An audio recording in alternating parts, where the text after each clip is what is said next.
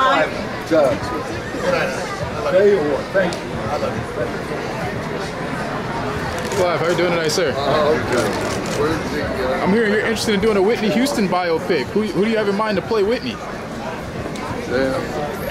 Okay, celebrating Grammy Week. You are celebrating Grammy Week. Hey, you're Diddy's getting a award for Icon. You discovered Diddy.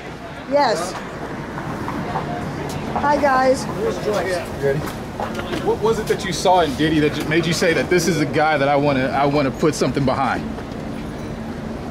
Read today's LA Times.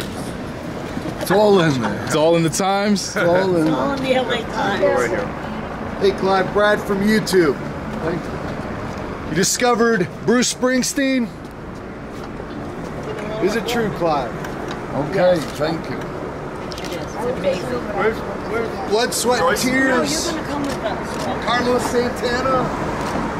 What a career. Who do, you, who do you have in mind to play Whitney for the You're a bad dude, Clive. Can I get back in here? Probably. Bye, guys. I love you. Okay, Bye. good Thank you. Joyce. Thank you. Thank you so much. Tony Orlando. No. Savar Manokian.